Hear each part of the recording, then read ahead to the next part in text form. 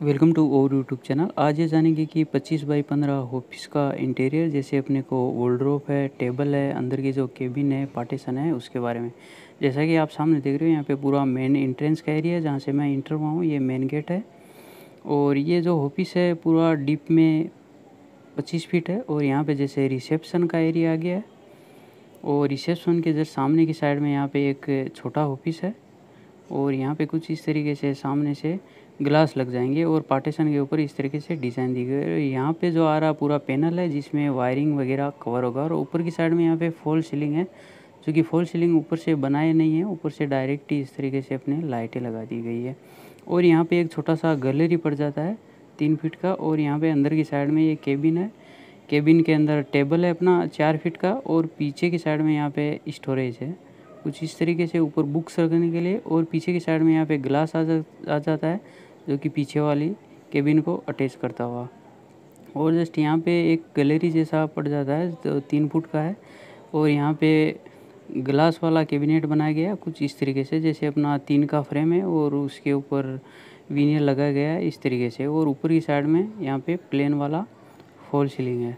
इस तरह और केबिन में इंटर होने के लिए जो सामने की साइड में गेट दिया गया है और यहाँ पे पूरा ग्लास आ जाएगा जो कि पूरा कवर हो जाएगा केबिन यहाँ पे कुछ इस तरीके से। दोस्तों, ये जो ऑफ़िस है, इसमें यहाँ पे तीन केबिन बनाए गए हैं, जैसे सामने देख रहे हो, यहाँ पे जस्ट आगे की साइड में था और यहाँ पे एक दूसरा हो गया यहाँ पे मीटिंग के लिए और जस्ट यहाँ पे पीछे की साइड में एक और केबिन है, वो भी आपको मैं दिखा देता हूँ। ये भी पूरा यहाँ पे ग्लास द्वारा कवर होगा जस्ट यहाँ पे सामने देख रहे हो। और जस्ट टेबल के पीछे यहाँ पे लोअर स्टोरेज दिया गया है और ऊपर की साइड में यहाँ पे फाइल्स वगैरह रखने के लिए बुक रैक दिया गया है। और ऊपर की साइड में कुछ इस तरीके से अपना सीलिंग है, जो कि यहाँ पे ओपन ही है। और यहाँ पे मेन केबिन आ जाता है सीओ का। जैसा सामने देख रहे हो, यहाँ पे पूरा मेन गेट है। और यहाँ पे एक टेबल है यहाँ पे छः फीट का। और पीछे की साइड में यहाँ पे स्टोरेज है। और यहाँ पे जो केबिन है, इसके अंदर से अपने जस्ट राइट वाले केबिन में भी इंटर होने का रास्ता है। और जैसा यहाँ सामने देख रहे हो, पीछे की साइड में यहाँ पे पूरा बुक्स रखने के लिए दिया गया और पीछे की साइड में यहाँ पे लोअर स्टोरेज दिया गया। और इसमें यहाँ पे गेट है पूरे स्लाइडिंग के और यहाँ पे ये टेबल के लिए स्टोरेज हो गया। और यहाँ पे ये कुछ इस तरीके से अपना टेबल है जिसका हाइट तीस इंच है। और यहाँ पे पीछे की साइड में कुछ इस तरीके से स्टोरेज है। नीचे की साइड में फुल फ़ाइल रखने के लिए जैसे अपने को घोड़ा फ़ाइल रखना हो, छोटा फ़ाइल रखना हो तो अपना यहाँ पे बीच में सेलो वगैरह डाल के यहाँ पे दो दो की लाइन में यहाँ पे फ़ाइल वगैरह आराम से आ जाते हैं।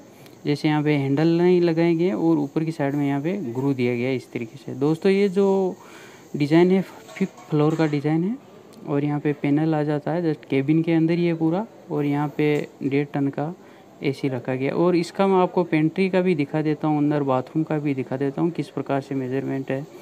और यहाँ पे एल शेप में पड़ता है ऑफ़िस और यहाँ पे जस्ट छोटा सा पेंट्री है, आगे की साइड में सामने देख रहे हो यहाँ पे। और यहाँ पे जैसे ऊपर की साइड में तीन दरवाजे वाला शटर दिया गया है, जैसे यहाँ पे अपना तीन फुट पड़ता था तो तीन फुट के हिसाब से इतनी छोटा सा शटर दिया गया। और यहाँ पे पूरा स्टोरेज आ जाता है, जैसे अपना एक्स्ट्रा में पड़ा रहता है फ़ाइल वगैरह या अथवा कुछ भी एक्स्ट्रा सामान रहता है नॉन रूटीन में तो इस तरीके से। और यहाँ पे प्लेटफॉर्म है, और छोटा सा यहाँ पे ऊपर की साइड में ड्रोर दिए गए हैं दो दो छोटे से। और यहाँ पे जैसे अपने को ऊपर की साइड में यहाँ पे चाय वगैरह के लिए कभी यूज़ करना हो तो और यहाँ पे छोटा सा एक टेबल दिया गया है, जैसे अपने लंच के लिए या कभी भी अपने को यूज़ होने में काम आता है। ये जो टेबल है, पूरा फोल्डेबल है, जैसे अपने को यूज़ करना हो तो अपने यहाँ पे इस तरीके से निकाल देंगे पूरा।